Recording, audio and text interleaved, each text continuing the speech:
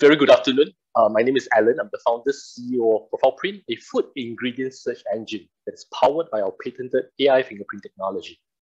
Founded in 2017, we are backed by international venture funds and some of the world's largest food ingredient conglomerates such as Louis Dreyfus, Olam, Sinar Mas, and Superfina. These are some of the awards we received over the last few years, includes Cargill Award at Future Food Asia, National Innovation Challenge winner, and Sri Chemical Research Award.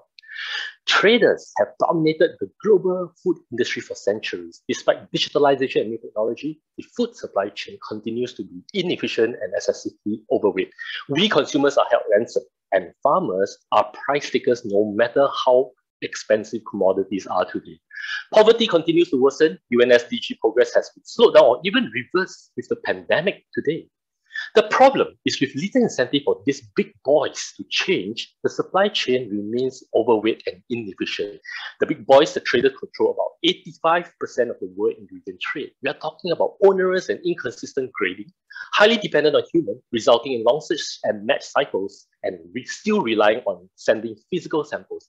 As such, overheads are excessive, incurring cost of warehouse, freight, and manpower.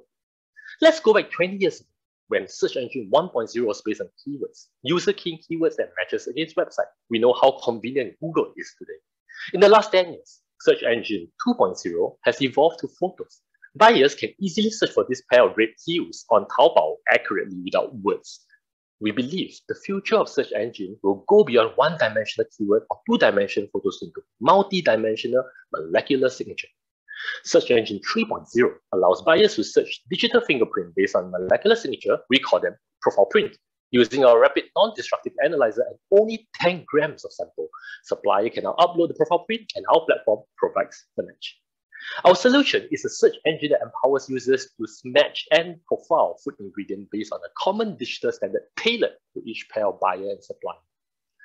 The market gap, if you look at the y-axis reliability and x-axis the ease of use, there is a clear need for profile print that is reliable and easy to use at a reasonable cost. Our product, akin to sending physical samples to buyers to ascertain suitability, our suppliers on our platform send the digital fingerprint for buyers to evaluate either using the open AI model on top for common standard or private AI model below for tailored standards all without the need for physical samples. Our patented technology, the three patents, two has been granted, one with a pending, and they all have international PCT. It combines and harnesses artificial intelligence of the combination of metabolomic signature on the left-hand side of the sample with big data comprising meta-analysis beyond the sample that includes other things such as weather, origin, that strengthen the prediction engine. We monetize our platform via pay-per-report $10 each, mainly targeted at farmers and cooperatives, as well as private subscription at 40 to 50,000 US dollars per year. That's targeted mainly at the bigger companies, so with a total accessible market of $15 billion. So what's our traction? We spent a good two years R&D and commercialized right at the peak of the pandemic. Within 20 months of product launch, we saw strong user traction and revenue growth, and over 50 paying MNC clients and more than 1,500 users, mainly the growers and the corporates.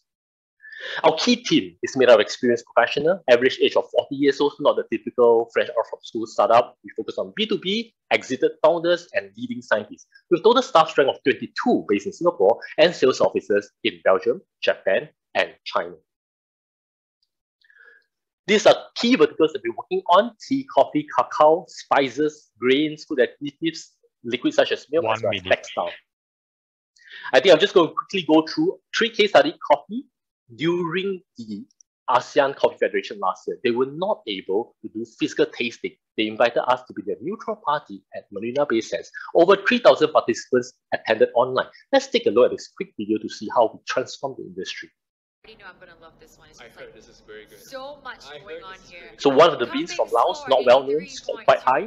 They wanted profile print to be intro Without roasting, tasting, we're able within seconds to get the profile as well as the final score of that specific bean. Hence giving assurance of the quality of the bean that's been auctioned without human tasting. In fact, today we have more than 200 reports generated over just the last two months that help farmers in Southeast Asia sell based on quality rather than based on just the branding of its origin. Tea is another example that we're helping them to profile their products without tasting. Alternative protein, yet another one. And I think this is the last slide that gives you a client endorsement um, of what we have been working for them over the last few years. Thank you very much. Um, please let me know if you have any questions.